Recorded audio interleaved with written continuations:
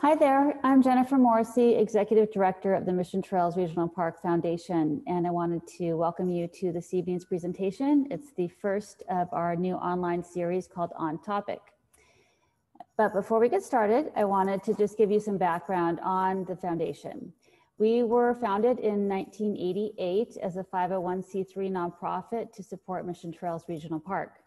And we do this by raising funds to support the park's needs from purchasing plants and tools for habitat restoration and trail maintenance uh, to contributing to major projects around the park, including the building of the visitor center, which opened in 1995, and the new ranger station in the East Fortuna staging area, which opened earlier this year.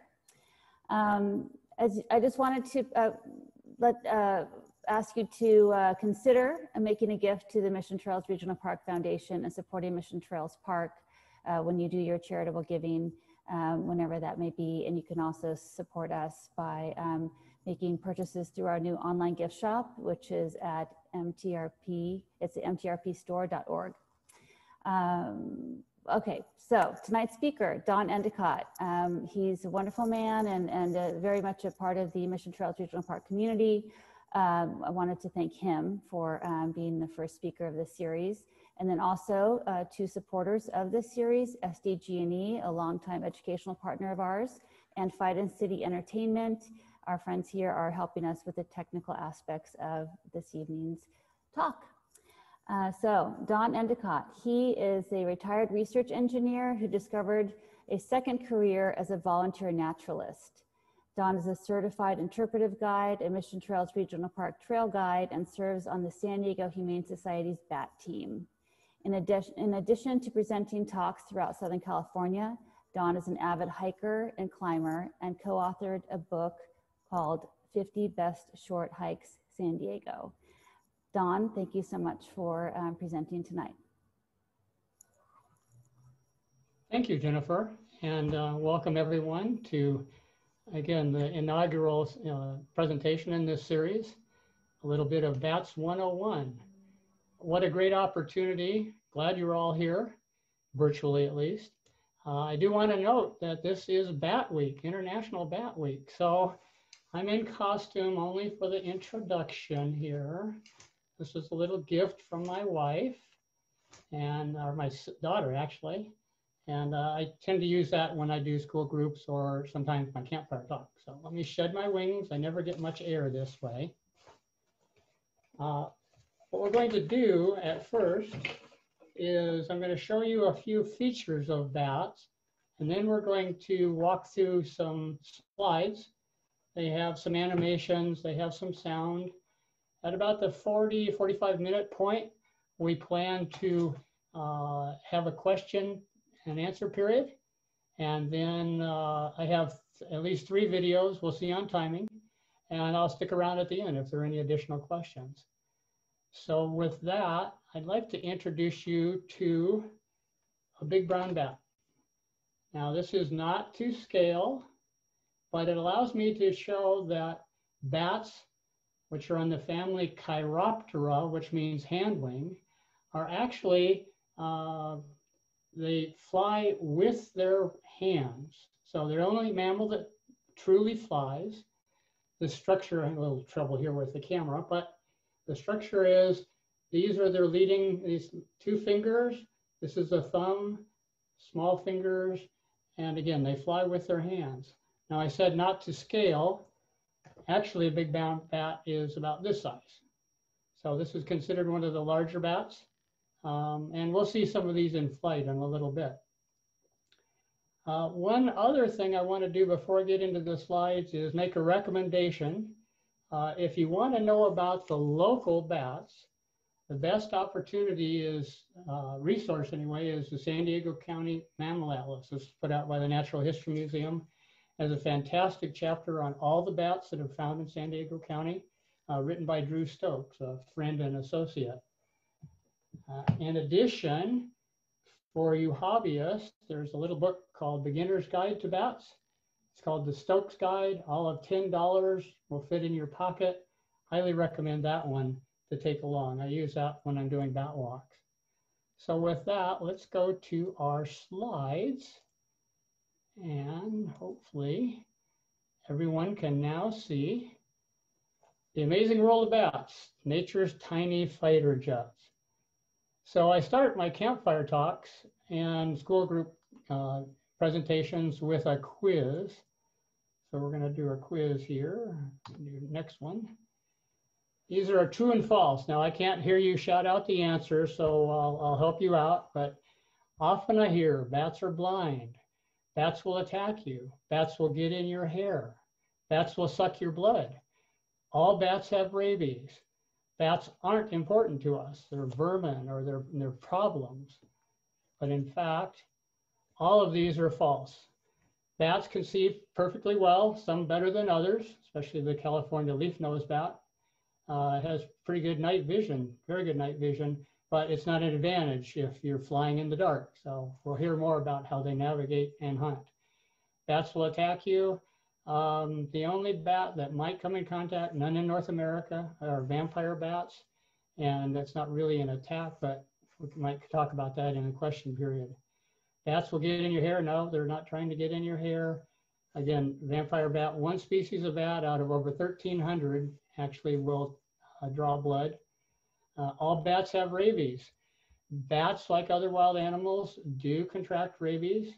Um, about 70% of rabies cases are from bats, but those are very small numbers, maybe one to three cases a year in the US. And we'll hear why bats are important to us. So I already mentioned a mammal, the bat's the only mammals that can fly. They use sound echoes to navigate and hunt. They're warm blooded. They have hair on their bodies like any other mammal. Live birth. Uh, babies nurse on the mother's milk, although the, our, most of our bats catch insects. The mothers produce milk. That's what the babies grow up with. Already talked about Chiroptera. Look at that number at the bottom. Over 1,300 species worldwide. A quarter of all mammal species are bats. Where in the world do they live? Pretty much everywhere except the extreme Arctic and Antarctic, largely a tropical uh, animal. So there are larger numbers of species in the, in the tropics, more variety there as well. We hear some wonderful names like bald mouse, flying mouse. Of course, they're not rodents, they're not mice, they are their own family, bats. And then fantastic Old Norse leather flapper, perfect description. Already described a little bit with our big brown bat flying with their wings. Uh, their fingers, unlike birds, haven't fused. They've actually stretched out. So the fingers are much longer. You can see the anatomy there on the, on the right of this figure, thumb up. Uh, the first two fingers, they make kind of the leading edge of their air, the airfoil of their wing and pinky. Uh, on the left side, we see body parts. So again, all the parts of an, a mammal. Uh, some of them have the tail membrane that goes straight across and the tail is encased, some extend. So the free-tail bats, like Mexican or Brazilian free-tail bats, that tail extends outward. One unique thing about bats' anatomy, different from us, is their legs are actually rotated 180 degrees away from ours. So think of your knees bending backward if you were standing up. If we were in a campfire setting or a classroom, I'd ask, well, why is that? Well, think about how they hang. And if their feet face the other direction, how could they hang and fly out from their, their evening or, or day roosts? So a very important adaptation. So wings, the signature feature. They've got a juvenile pallid bat on the left side. Uh, this is a Mexican free-tailed again, a Brazilian free-tailed bat on the right. You can see that structure with the extended wings. Um, I can't show, I can't really highlight the, those features with my mouse, but I believe you can see them. That membrane is sort of about the consistency of a thick latex, think of a latex glove, but it's interwoven with all sorts of tendons and structure, blood vessels, and we'll see in flight what, what that flexibility allows them to do. Uh, their head, very specialized. Again, they're uh, echolocating. Uh, they have some adaptations uh, for making sound, processing sound. But this is our pallid bat again, which we have both coastal and desert varieties. They have a very strong bite, and we'll hear a little bit about more about that later on. Uh, on one of my mission trails walks, I had a neuroscientist who was along on that hike. She said she'd love to get a CT scan of a bat. And one thing led to another, and we produced this little video on the right. So this is a pallid bat, same species on the left. This is a skull, not the actual bat, uh, from the Natural History Museum. So let's see how that rotates for you. You can see the densest parts are in the, in the teeth and the jaws. And then in the cochlea, the, the processing part of the, the uh, inner ear and the outer ear, well, actually all the inner ear. So that's a pallid bat skull. They have one of the strongest bites, uh, certainly of our local bats. How big are they? Well, most of them are tiny. Uh, they would fit in the palm of your hand. On the upper right, I have a canyon bat. That's one of our more common bats, uh, about the size of two quarters. They weigh about the same as a Hershey's Kiss. And I have a specimen here. I know my picture is awfully small in the frame, but this is this is a canyon bat. And so maybe we can tilt this a little bit and see how tiny they really are. That's our smallest. Um, we also have, whoops, I wanted to go back here. We also have as common species Mexican freetail and the Yuma myotis. Yuma myotis often seen around ponds in San Diego. In Mission Trails, that's one that you will see shortly after dark at the old Mission Dam. Uh, canyon bats are the first ones out, and we also see those at the uh, old Mission Trails Dam. They'll be out before it gets dark. Okay, we have 22 species in the county, 44 to 45, depending on some that bump up into the uh, Florida uh, in the country, in North America, actually. And these are some of our locals and their sizes. So again, quite small, except for the mastiff bat. And if you take a look at this, this is a display from the Natural History Museum. We here in the county have the largest bat in North America, the Western Mastiff bat, that's in the top of the frame, and the Canyon bat, the little guy that I was just showing you.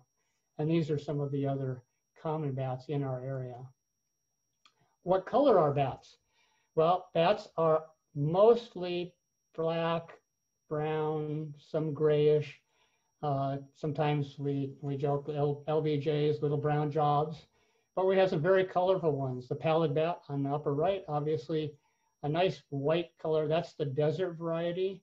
Here on the coast, we also have pallid bats more toward the foothills, um, and they're a little more uh, brownish a western red bat, gorgeous little bat, and the hoary bat, which uh, some of us think that's the designer bat with that lovely frosting.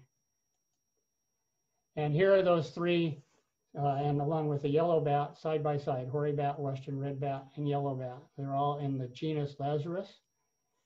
Uh, let's see, next I want to talk about fossils. So Bats have been around a very long time. The, the fossil on the left aged to 52 million years ago. I recall birds have been around about 140 million years. So bats came later, obviously evolved separately and not from reptiles, from mammals. And so it's from the very beginning of the age of mammals and they look substantially like they do now. You could easily recognize that figure on the left as a bat. Flight, they're the only mammals capable of flight. Think of sugar gliders, flight, uh, flying squirrels.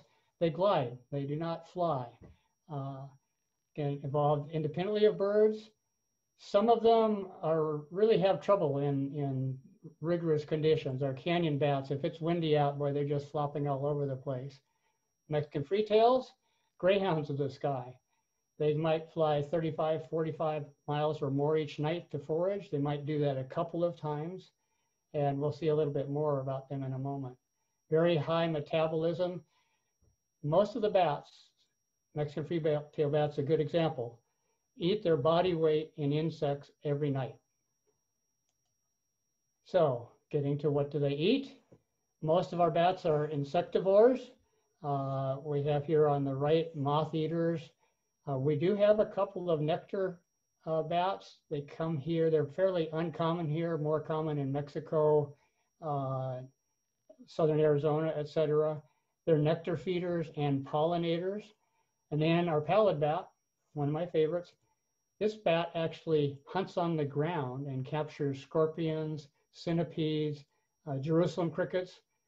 And I have a little video at the end showing that they are immune to scorpion venom.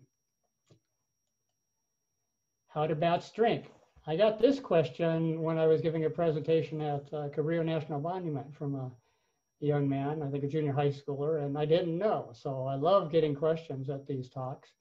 Uh, they drink by flying over the water and dipping their tongues in. Some sometimes they'll dip their, their belly fur in the water and then lap that up later. And they'll keep coming back until they get their fill of water. It's no advantage to be on the ground at any time if you're a bat because that just means you're now prey. So these are some photographs taken in our local mountains. And I'll do a shout out to Charlie Van Tassel, who's my mentor for bat photography. So echolocation, talk, seeing with sound. So this is Lily. Lily unfortunately has passed on, but Lily was one of our ambassador bats with Project Wildlife, part of the San Diego Humane Society.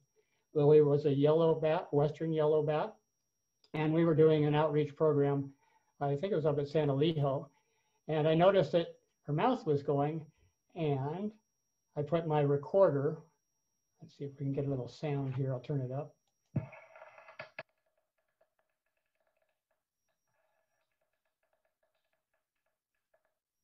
So we're going to talk about that in a little in a moment, but echolocation, they're actually squeaking at very high frequency. We couldn't possibly hear that. The yellow bat's about 30 kilohertz, uh, 30 to 35. Some of them go up into over 100 kilohertz. There are a few species that are audible to humans, uh, but mostly they're out of our range. So to our world, they're totally silent. To their world, they're making quite a bit of clicking, listening for echoes. And that was, this is what that looks like. So here on the left, we see the bat calling out and then listening for the echo. So if it's navigating, it's got one kind of call. If it's hunting, it will be a different, usually a different frequency, a little higher pitch. It'll be appropriate to the size of the prey. And then as they get very close to the, the insect, we'll start hearing what's called a feeding buzz. So I uh, often ask, well, how loud is it? We can't hear anything. It's a good thing we can't hear anything because if we could, it would be just a racket. We'd uh, have earmuffs on all the time. 100 plus decibels and uh, maybe even to 140. So imagine bats flying out at night and their calls are sounding like jet aircraft taking off. We're not even sure how they can tolerate that much sound from their neighbors calling. The good news is that their range isn't very long. Uh, but another mechanism they have, adaptation, is they actually squeeze the muscles around their inner ear bones so that they separate and can't hear their own calls going out, so they don't self-deafen. So I mentioned tighter fight, tiny fighter jets in the in the uh, title to this talk. Several reasons for giving them that uh, moniker. Their sonar, the echolocation sound navigation, is much more capable than anything we've ever developed. They're able to hover, listening for prey. We've got the Mexican free-tailed bats that have been radio tagged and are, it's possible for them to travel up to 100 miles an hour in level flight. That was a discovery only a few years ago. Put some tags on, followed it in an airplane. They can also fly up to 10,000 feet. And in Texas, they go up in swarms to catch uh, migrating moths. And I have a little video of that later too. And that bottom one, they even have jamming. That was another recent discovery that sometimes the bats will put out a call to distract someone while they zoom in and get that bit of food. Life cycle. Uh, bat babies, that's again, they're placental mammals, uh, born blind and hairless. usually one per mother, but with western red bats, there can be up to four. And look at that second line. They can weigh a quarter or more the weight of the mother. I still haven't figured out how a western red bat can possibly carry four babies and still be able to fly before they're born. Most of the species learn to fly in four to six weeks and then they're on their own. Up to that point, uh, they're feeding on their mother's milk. Mothers go out and forage, come back, feed their young, go out and forage again, feed their young. Uh, some of the, I forget the statistic, but something like their, their milk is 30% body fat, uh, milk fat, so very rich. Some bats hibernate in caves, mine shafts, in our colder climates. Here, the bats that we have might go into torpor during cold spells. Some of them might migrate, but generally they've got it pretty good in San Diego. They can also live surprisingly long, 20 to 40 years. I think the record was 43, 44 years. A number of our bats will live 15 years. Think about that compared to a rodent, which is the same size. They're lucky to live more than a year. So maternity colonies, nurseries. Uh, you'll see that I've used Mexican freetail and Brazilian freetail here. It's the same species, Tadarida brasiliensis. Um, for at one time, they were thought to be two different kinds because the ones on the East Coast hibernate and the ones on the West Coast migrate but genetic studies show that they're the same. But when they have their nursery colonies, they're packed in up to 500 pups per square foot. Uh, in one cave in Texas, Bracken Cave, in the spring, 20 million mothers, 20 million babies. It's the densest concentration of mammals in the world in that, during that period. I mentioned hibernation. Uh, our, our, our bats don't tend to hibernate, but those in those areas, especially back in the east, the Midwest, bats are even up in, in the can, Canadian Rockies, uh, up to as far as Alaska. Uh, they lower their temperatures, they lower their metabolism basically to nothing.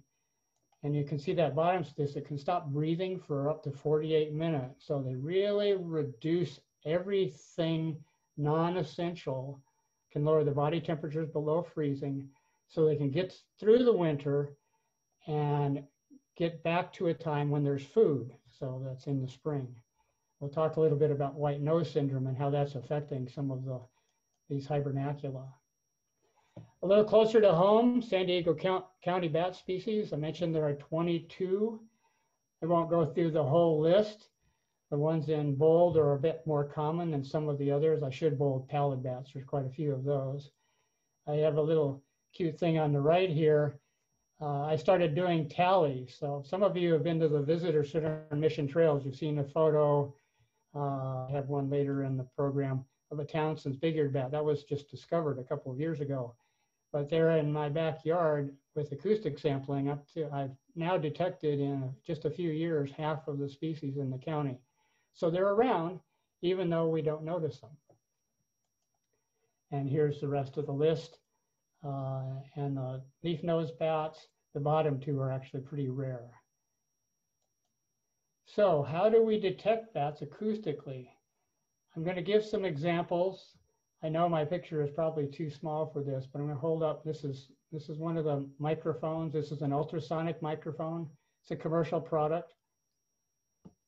You can, this particular model, you can hook it to a cell phone and you can go out and record bats. The one on the right, I'm just showing with a tablet. That's how I started recording. Uh, and you can see on the display their call. So we'll go look at a couple of those. This, this is built-in software. So you're looking at what's called a spectrogram. Here's one for Yuma myotis. This is a common species. It's around San Diego. Again, it's going to be seen at the Old Mission Dam. Uh, it's called a 50 kilohertz bat. So I'm going to orient you to this plot. Uh, time in thousandths of a second along the horizontal and frequency in thousandths of a cycle kilohertz on the left side. The upper part shows power. And they would actually sound more like the static clicking if we could hear their frequency, but the processing allows us to have a little more favorable sound.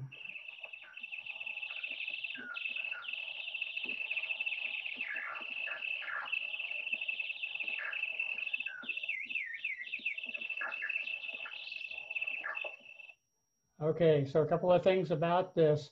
Again, this is a this is lowered in frequency so we can hear it. It's slowed down so we can hear it, and it's modulated. It's got signal processing so that instead of hearing static, we get this sort of, uh, I guess, not exactly musical, but these tones. And when, when I'm in the field, I can listen to my recorder and identify the species without even having to look at, at the plots. So this is a 50 kilohertz bat, Yuma myotis. The next one is a canyon bat. And these are our little bitty guys, the one I held up in my hand.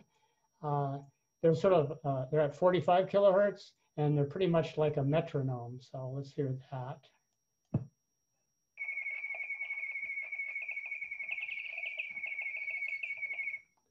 Very regular, almost like a heartbeat. Now we're going lower in frequency. This is the Western yellow bat. So remember we went, we met Lily a little while ago. So Lily's down at 30 to 35 kilohertz.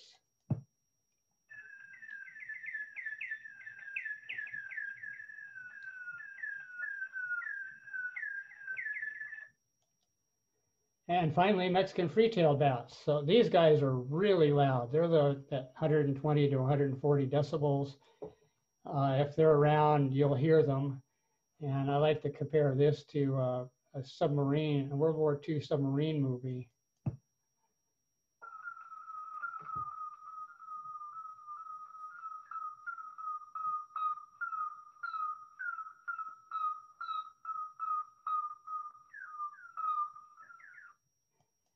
Now, Mexican free-tailed bats have a very, very, a highly varied diet, small insects, large insects. Consequently, their calls have a lot of variety. Unlike birds, bats' calls, although they can, and many times we can identify them acoustically, but they're serving a function. They're not an identification. Birds call to announce, you know, I'm a, a uh, lesser goldfinch, I'm a male, I have a territory, I'm available. Bats call, say, I'm hunting moths, I'm hunting mosquitoes, I'm navigating in a forest, I'm navigating out over open space. So very different application of sound. And what I wanted to show here is the pallid bat, again, we'll have a little video on this, is a gleaning bat. It's one that listens more than it calls and listens for echo. So this is the ground hunter. This is the bat that will hunt and capture scorpions on the ground. Large sheared bats tend to be quieter bats. So I, I just showed one plot here, same scale as before, and I had to multiply it 10x to be able to see what that power spectrum at the top is. And sometimes it's a party. Bats forage on different insects, they forage at different times. They guess basically get along with each other in, in an interspecies sense. So this is out in Anza Borrego uh, near the campground in Borrego Palm Canyon, three species at once. And you can see them all flying together too, all hunting slightly different food. So bats in human culture, creatures of the night, uh, fear, death, all sorts of associations with bats, largely because of the mystery. I mean, we don't know too much about them. We can barely get glimpses of them, didn't really know their habits. But that wasn't always the case, uh, or isn't, hasn't been always the case. On the far right, I have Valencia, Spain. They were having insect infestations, a plague. Uh, bats came in, saved the crops, and as a consequence, they uh, honored and recognized the bats and put them right on the seal of the, their coat of arms. And here in the next slide, the second from the upper left, it's on their soccer team's logo course, we have all sorts of different cultural influences, Dracula, um, we have Batman, none of these true bats. We have Stellaluna with uh, Janell, one of a local well-known authors' favorite book for children. On the middle bottom, I'm showing the Chinese had a rather different uh, attitude about bats. They think of them as, as good fortune. Uh, you'll often see five bat artifacts. So left to right, I've got a ceramic, got five bats around the rim. Uh, we have the five bat coin. Uh, that tapestry has the five golden bats. The coin, the five bat theme is uh, called Wu Fu. It's a, a. It's where the word means uh, the good fortune, but it also means bat. And those five bats, different interpretations, but health, wealth, long life, good luck, and tranquility. And what a what a, a great uh, great way to express your your feelings about bats. Getting on the home stretch here, how do bats benefit us? Well, insect control. In Texas, outside Bracken Cave, it's estimated those bats in the spring catch about 175 tons of moths that are out to forage on the fields every night. That's a lot of insect control. So I don't know how they did it, but someone measured a little brown bat catching a thousand mosquitoes an hour. How could you have better insect control than that, mosquito control? Pollinate plants. Although we have a few nectar, uh, nectar feeding bats, but in areas where they do exist, uh, they were the primary pollinators for the original banana, guava, papaya. Um, so fruits that we take it uh, take for uh, granted are bat pollinated. In addition, the um, I was going to say we have fruit eating bats and they disperse seeds. So these fruit eating bats kind of make a mess of it up in their trees when they go forage on fruit. We don't have any here. Uh, but then when they fly and drop the seeds in the in rainforest areas, bats are often one of the primary, if not the primary source of reforestation. Medical research, one that's kind of uh, a little fun trivia fact is uh, vampire bats. Again, we don't have any but uh, they ha they have an anticoagulant in their blood, so that's being been studied for possible use in medical in surgeries. In addition, bats are very disease-free. Still trying to understand how that's done. Um, part of it is chemical. Some of it is mechanism where they can isolate uh, infections and such. Uh, part of it is a, a, actually a gene that allows them to be resistant. So that's another course of study is how can they, and that's a reason for long life, by the way, one of the reasons for long life. Uh, it's thought to have originated with or be associated with flying, the heat, the high metabolism, and needing to avoid things that would slow them down. So that's the medical research. And back in the day, not so much anymore, they were a very important source of of guano and, and fertilizer. So threats, uh, just like all wildlife, loss, loss of habitat, especially loss of foraging habitat. Some of you may have heard of some very serious concerns about declines in insect populations, which affects the entire food chain. Uh, destruction of roost sites. Uh, here are western yellow bats. In this, their, their nurseries are in palm, free, palm uh, trees. So places that might, uh, you know, tree trimming, et cetera, is, is an issue there. But also just construction areas where bats have lived historically. Pesticides, DDT, back in the day, uh, but anything that gets into the food chain. Intentionally killed. I mean, they were shot, burned. Uh, I've heard of mines and caves where they resident being uh, intentionally blasted because they didn't want the bats uh, white nose syndrome, a fungus, talk about that in a moment, and wind turbines. Uh, wind turbines apparently attract some species. The hoary bat is the one in particular. Over in the lower right there, Merlin Tuttle, very well respected, uh, long time bat researcher with some bats at a windmill farm. So there are efforts underway to put basically acoustic deflectors to discourage the bats that uh, for some reason are attracted to the, the sound of the rotating blades. And we have foraging. This is a, an acquaintance up from uh, Pinnacles National Park who happened to see Swainson's hawk out after Mexican freetails. Uh, they don't catch very many, fortunately, but just enough to keep them hunt, filled. Mentioned white nose uh, syndrome. Uh, this is a fungus introduced in New York back in 2006, thought to be come in from cavers. and it's propagating across the country. This map is actually a couple of years old. There's one site up in Northern California. I know it's in Washington State. the, the problem, I think I have a picture. I don't, let me go back one if I can. I'll go up here. On the upper right, we can see that little white growth. These are little brown bats. This is a species particularly hard hit uh, by white nose.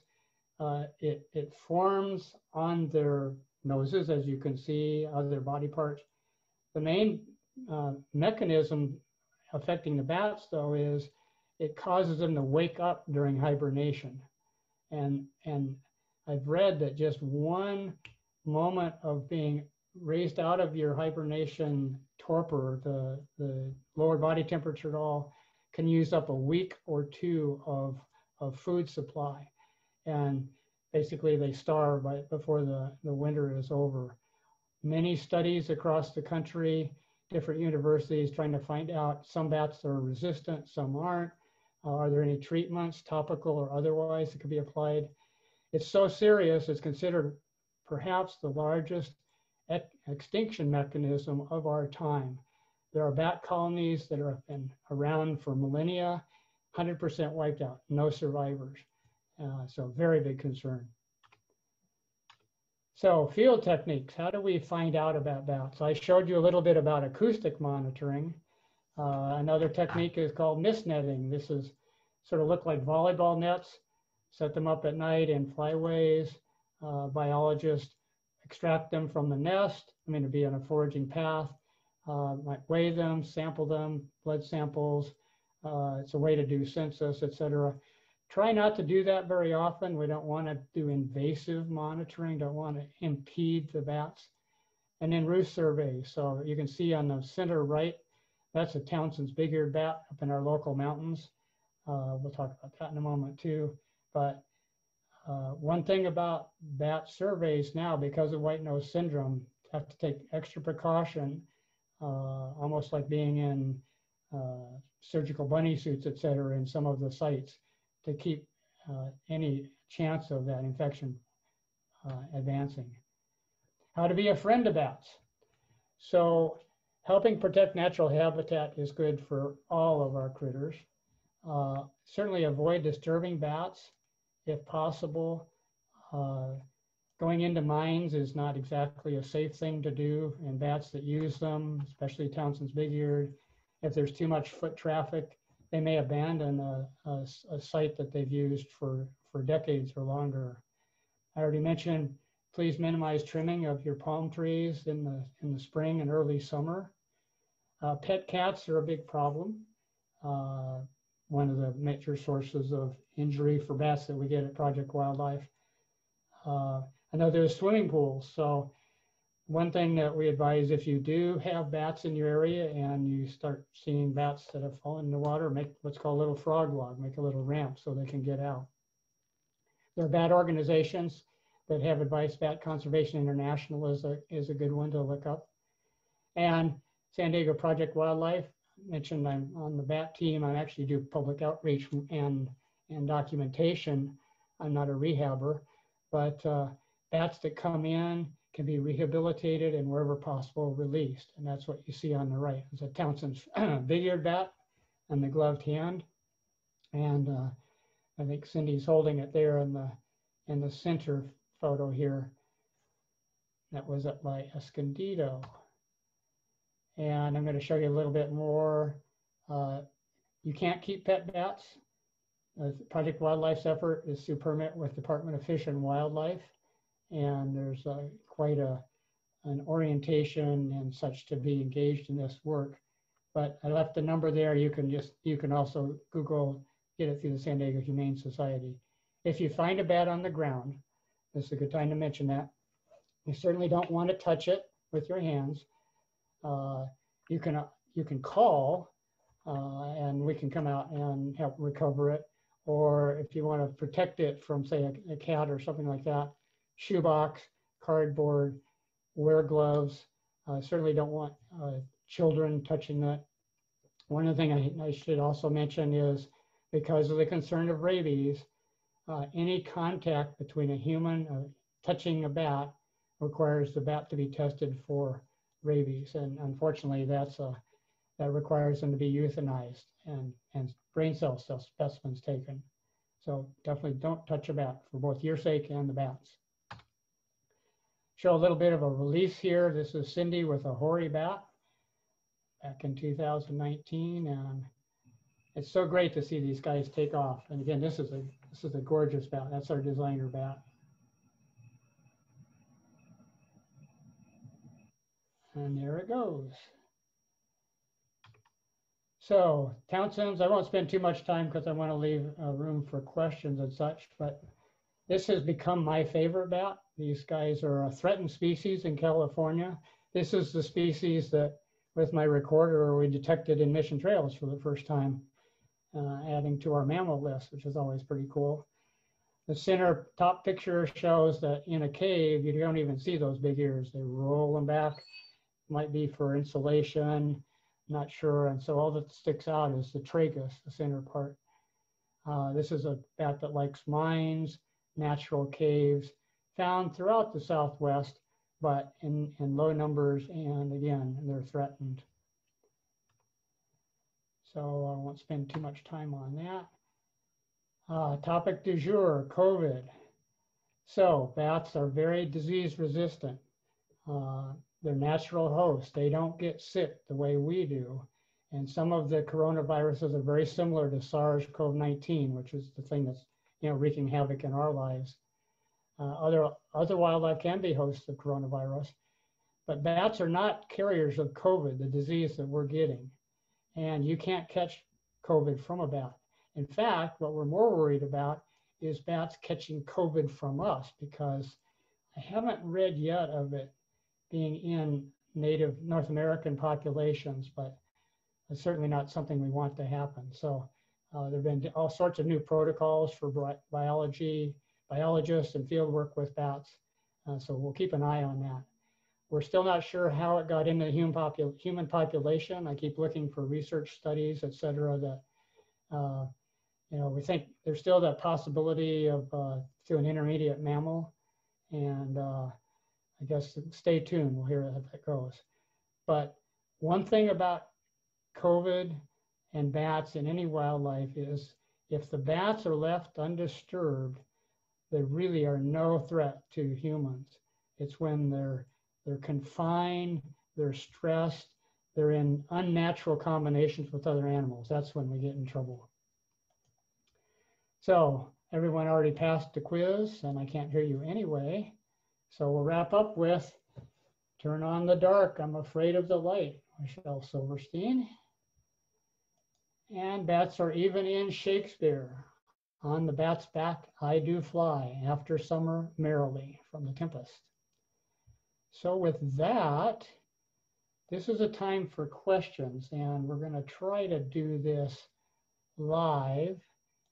Um, I've, we've had Jennifer running some chats uh, I would like to, I'll take, I see we have three questions, so I'll take them one at a time. Uh, then if there are no more questions, we'll shift to the videos and we can have some, some wrap up. So I see we still have about 15 minutes. So first question. If we weren't in a pandemic, would this be a live lecture and walking tour? I want to see some bats. Absolutely. I much prefer that. Um, I do that with mission trails in the evening, uh, sometimes just with the regular twilight walks.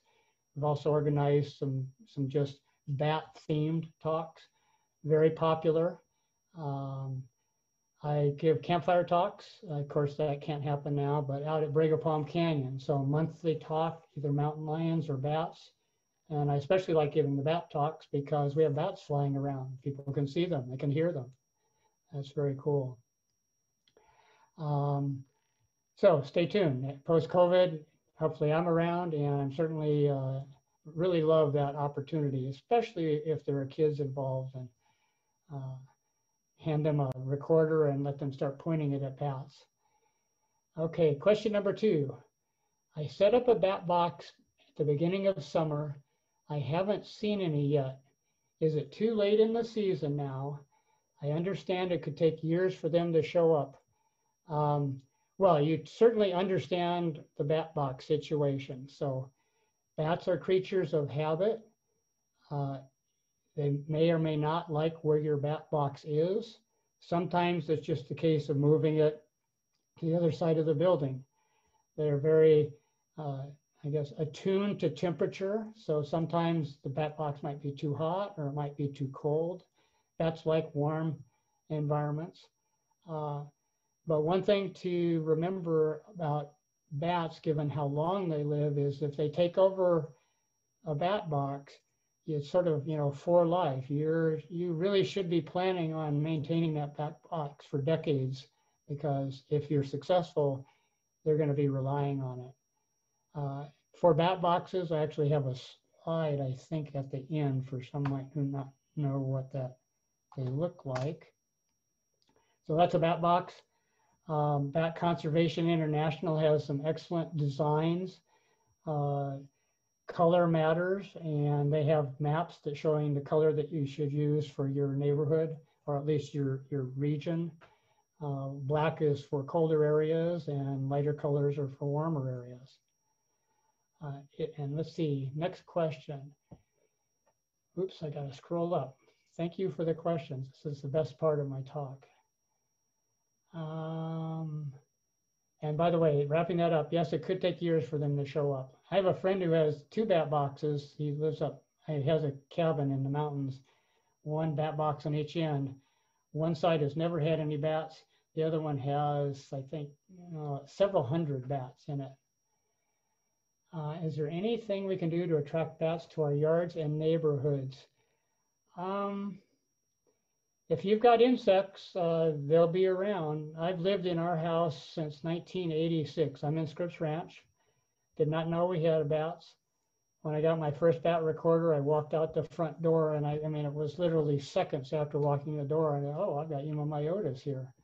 So they're already around. You might not have noticed them yet. Uh, I guess you could feed them mosquitoes, but not a good recommendation. See, next one. I teach at Lewis Middle School eighth grade science unit on identifying bats to their echolocation. Would you be willing to share your resources? Absolutely. Uh, you can contact me through Jennifer and the foundation. Uh, I should have mentioned in the county uh, mammal atlas, Drew's section, each species listed has a little synopsis of their echolocation characteristics. Very handy is a chupacabra a bat? I'm sorry with that one. I don't, I'm not familiar with what a chupacabra is, but uh, I'll look it up now. What other mammals use echolocation? The cetaceans, whales, dolphins, uh, killer whales, they use a different mechanism. They, um, there's something called the melon, of course they're in water, so it's a very different uh, medium to, to echolocate but same idea, they're sending out sound and listening for it to come back. Uh, I think there's somebody, one other type. I know sometimes some species issue calls that are that loud, are at those frequencies. Shrews do, even uh, uh, house rats make squeaks up in those ranges, but I, I don't really know that they're navigating. Next question, this is a great one. Can moths and insects hear the bat sound? Absolutely. Uh, they're in kind of this evolutionary arms race. Uh, some bat, some moths hear the bats and they'll drop to the ground. Uh, some insects uh, put out sounds that that inform that I'm a species you don't want to eat because they taste bad. So yeah, they're, they're very much in awareness, maybe not consciously, but physiologically they're they're aware of each other. There is there was a recent special maybe a year ago. Was, uh, I think it was on Nature, Sex Lives and Butterflies, and uh, one of the hypotheses is that butterflies evolved from moths to avoid bats. I'm looking for a second source on that, but that's pretty pretty wild. Let's see. Can let's see. Do any species migrate? Yes, hoary bats migrate. Western or uh, Mexican freetails migrate. Uh, some of them can go quite a ways. The only native mammal to the Hawaiian Islands is the hoary bat, and they migrated from the mainland. Uh, I think fairly recently, I just saw something about that.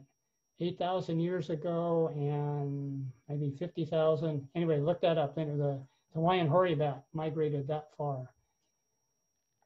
Can you tell if a bat is a Dracula? Ooh, well, Dracula wasn't a bat, uh, but if I can tell a bat is a vampire bat, again, that's a bat that lives in Central, Central America, and sort of Central Mexico and South. Um, so yeah, you can identify bats by their characteristics. Are there species of bats that sleep beneath leaves or in hollow trees? Or just generally, where would a bat sleep in an area without caves or mines? Well, actually, only a few species live in caves and mines. Uh, Mexican freetails live in caves, but they also live under bridges. So the Interstate 15 bridge over Mercy Canyon near my home has Mexican freetails. There's a bridge up near Hemet that has a large colony of, of Mexican freetails. Hoary bats, western reds, they live in trees. Uh, silver bats also live in trees. Some of them live under bark. So uh, uh, canyon bats, they live under rocks out in the desert and crevices or crevice bats. So have a lot of, it depends on the species many different habitats and they've adapted to those. But specifically beneath leaves or in hollow trees, there are many bats that reside in, in leaves in the tropics. Let's see, I want to get on. Okay, I see there are more questions, but I think what I will do, well, okay, two more, we'll do those. What kind of gear do you use for your photography? Um, we could follow up later on. The basic idea is a camera an ultrasonic or, or other form of trigger and four flashes. So the flashes are, are linked to the trigger and the camera. And so the bat basically takes its picture as it flies by. Uh, and the best place to do that is around water because you kind of can predict where they're going to be. If a bat gets a wing, brain, wing membrane injured, can it heal? Um, I've seen some scars on bats, so I guess to a degree, some of the bats that become education bats get injured just too much and they can't fly again.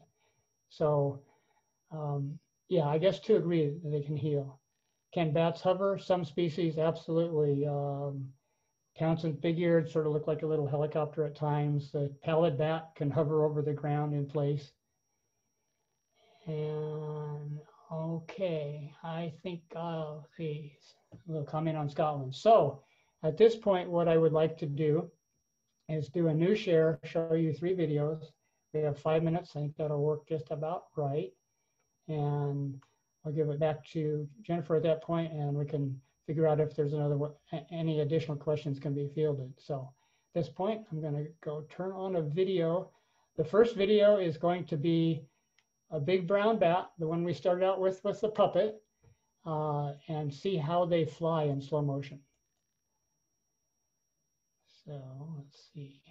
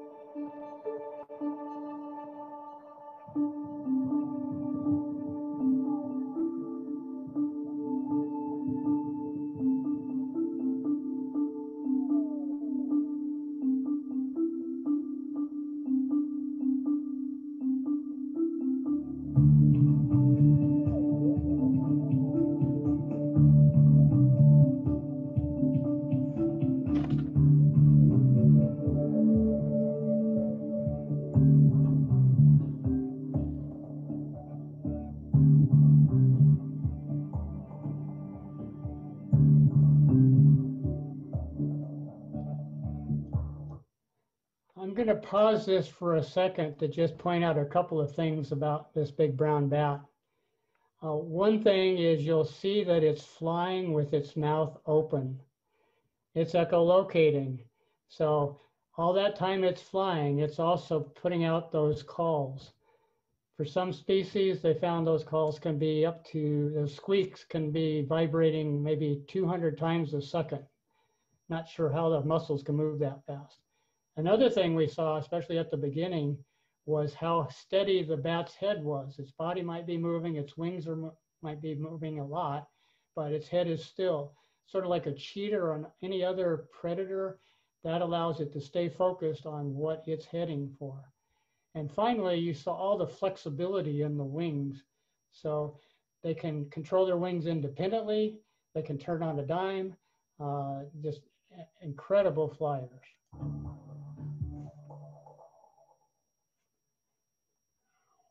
Okay, so one last comment about that before we do this next one is, um, and I get this asked a lot, well, what about those sharp teeth? And I, I usually turn that back as a question.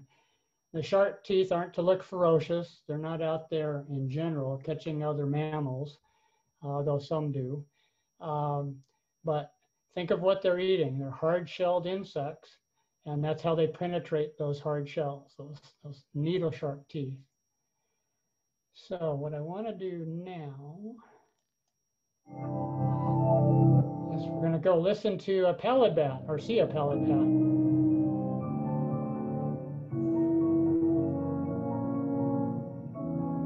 Slicing through the shadows, scanning for prey hidden under a cloak of darkness. Bats are masters of the night sky, thanks to their twin superpowers, flight and echolocation, using sound waves to find prey.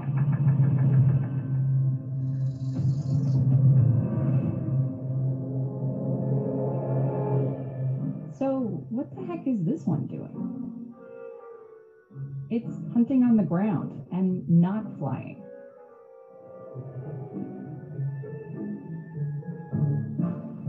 Of an undignified way to catch a meal, isn't it? I mean, for a bat.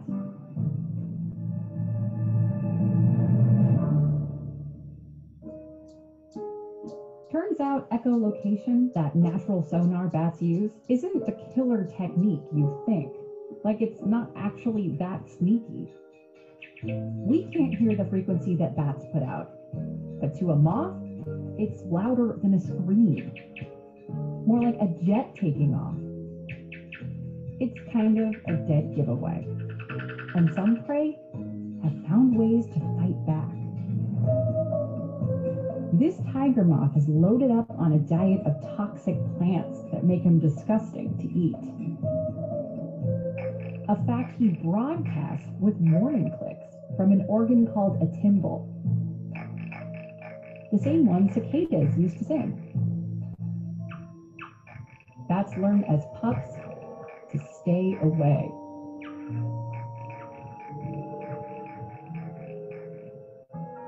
And these hawk moths can scramble bat sonar by emitting clicks from their genitals. It's a dogfight that bats are starting to lose. That's why some, like this pallid bat, are changing the game. She still echolocates, but only to navigate. And she keeps the volume low. She's a whispering bat. When it's time to hunt, she goes into stealth mode. Her ears point down, where scorpions and crickets are milling in the loose earth, and she listens. Look at those ears again. They're huge relative to her tiny skull. They do a great job of capturing and amplifying sound, especially the low pitched noises of scurrying prey. And see that funny flap? It's called the tragus. They provide extra information about where a sound is coming from. We have them too, but in a bat, they're way bigger. And the bat has a final card to play here. She's immune to scorpion venom. But the sting rattles her a little. It's not as graceful as the high flying aerobatics, but hey, it works.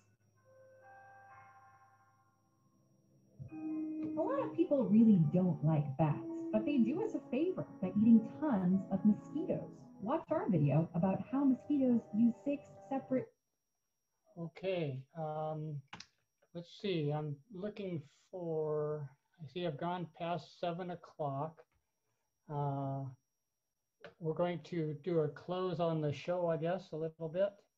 Um, and I'm, I'm looking for some signals here. Sorry. Uh, I have one more video, but I think we've run out of time, so maybe I can point to some websites for additional information. So at this point, I'm going to stop sharing so we can go back to a wrap up. So back to you, Jennifer.